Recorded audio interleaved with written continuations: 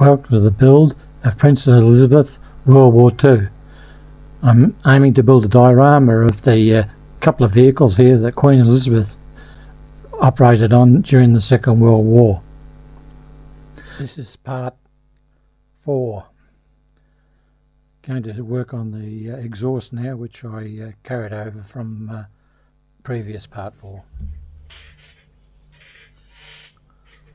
Using Blu Tack or it's actually green tack here with me in Thailand to uh, hold the parts while I uh, glue them together.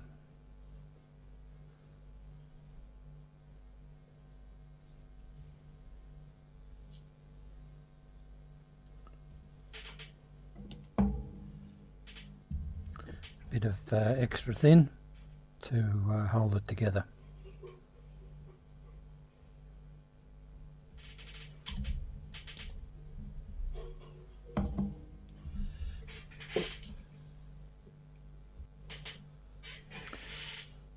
Now adding the uh, canopy, the uh, fold up back uh, curtain.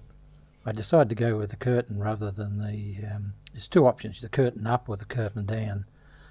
I offered to, op optioned to uh, put the curtain up so you can see the detail inside.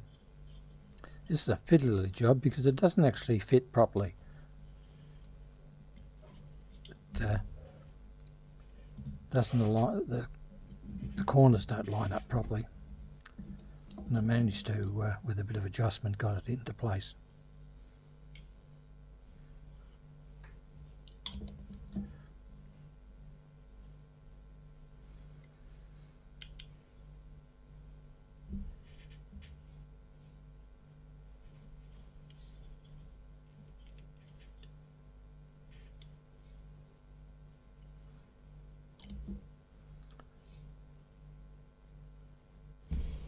check this after I spray painted. Okay, working on the wheels now. They're uh, two front, two rear and a spare. I've got a bit off camera here, so uh, just bear with me while I work on this. I uh, must have bumped the camera sometime when I'm switching it on and off.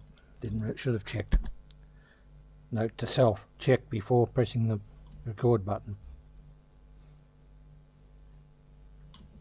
Oh, it's happening again. Neighbours having a fight. Every time I video, they're either cutting grass or having a fight.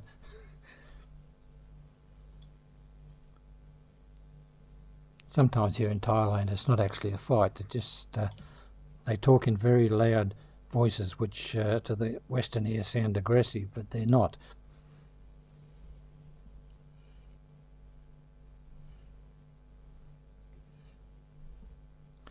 Two front ones with the uh, inside of the uh, tyre done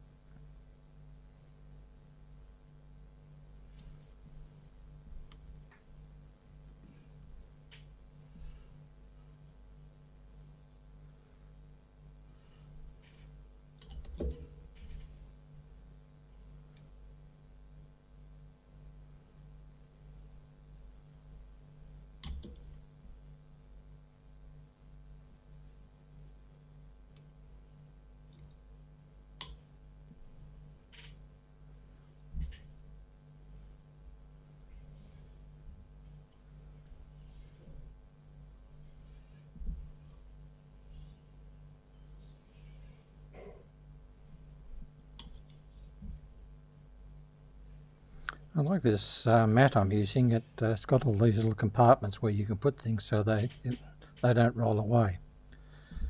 Now adding the uh, brake drums to the uh, front and rear wheels. The uh, spare doesn't have a brake drum.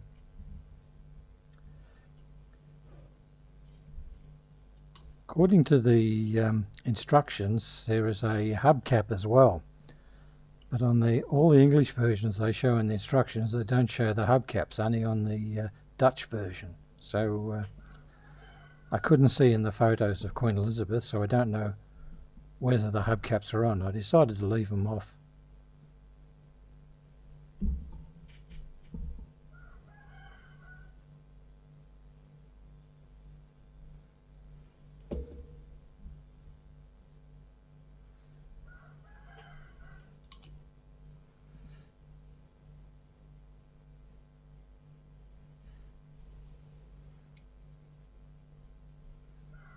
Being very careful not to get uh, glue into the uh, hole for the hub of uh, the axle sorry.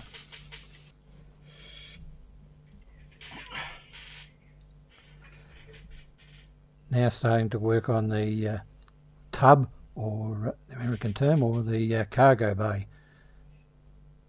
English version. It's funny how they uh, call parts different names. I spent 13 years with Ford Australia and uh, became very confusing at times between the American and the uh, English or German drawings we were getting because they call the same part by different names. For example, the, uh, the bonnet, the hood, the fender, mudguard, these sort of things. Oh, fiddly. Again not working in the center of the uh, mat but uh, you can see a little bit well. Took a bit to work out. There's actually a, a locating slot for these for the seat backs to go into and uh, they don't get into the right position. You uh, don't the, the uh, canopy won't fit. So I had dry fitted this a couple of times to make sure I was getting it right. Again applying the uh, extra thin to areas you don't see.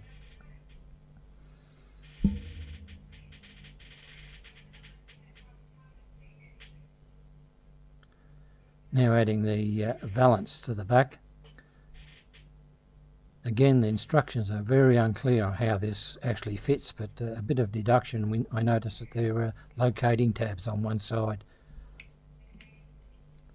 And it doesn't actually show where it goes and you've got to sort of just keep trying different positions till uh, it looks like it fits. In the end I got it right.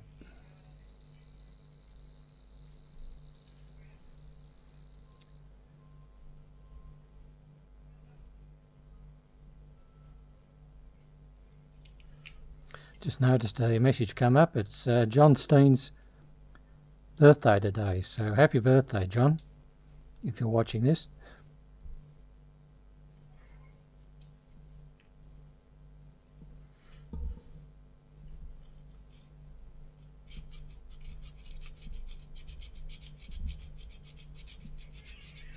Noticed I left a uh, small um, a bit of the sprue which was fouling the location of this so I had to uh, file it off to make it sure located properly. You, you try and get them all but then, then you find you missed one.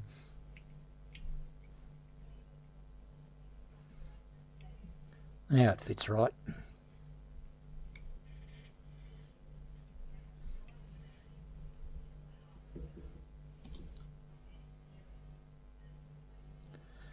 For the diorama I just managed to uh, pick up a um, photo frame. I'll take the glass out and use the uh, frame to uh, mount the diorama on. So uh, I already have the uh, nice edges already done. anybody asking how much they cost, 20 baht, a dollar.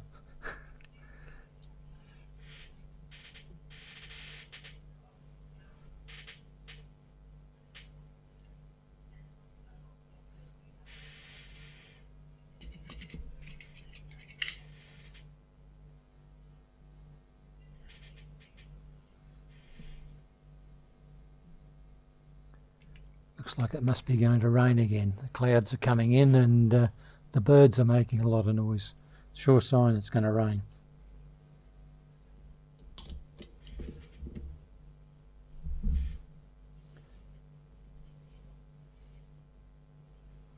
Gets very nostalgic here in uh, Thailand. The uh, crows come in and uh, it just sounds like back home with the crows.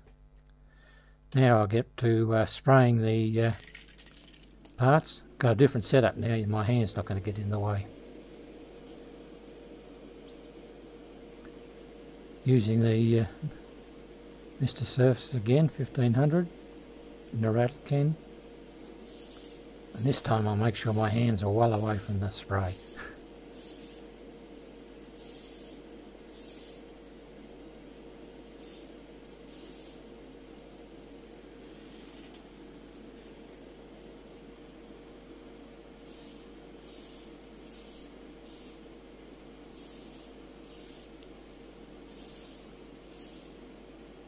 bit cooler today. Yeah, I've got my slippers and a uh, jacket on. Uh, what's the temperature? 28 degrees.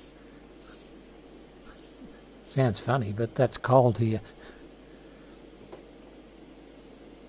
You see Thais uh, going around today in puffer jackets. 28 degrees.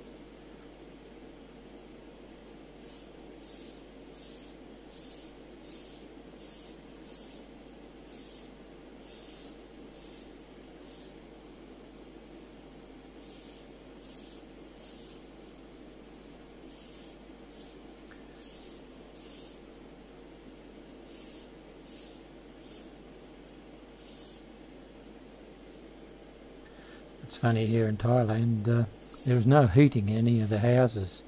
And even my car, an MG ZS, doesn't have a heater. Has air conditioning but no heater. I wonder if uh, MG ZS's in Australia have uh, heaters.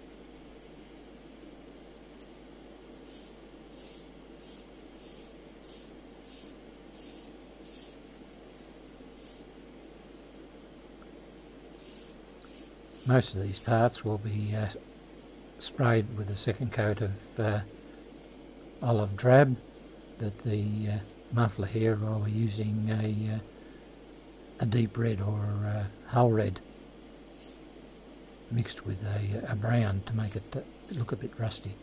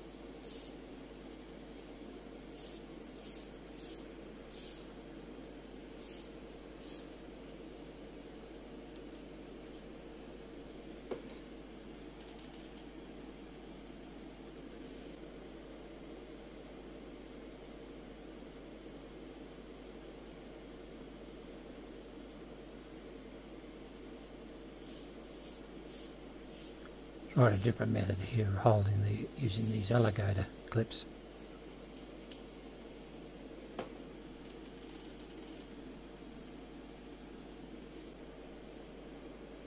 You can see how much the uh, paper toweling, this porous paper toweling on the front of the uh, filters captures a lot of the uh, overspray and uh, saves the filters even though they're cheap, it's still uh, paper toweling's a lot cheaper.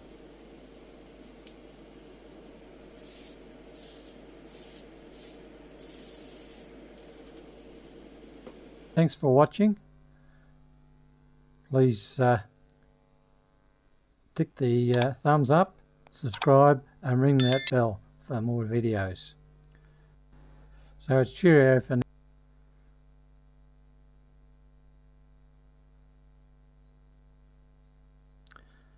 So it's cheerio from me.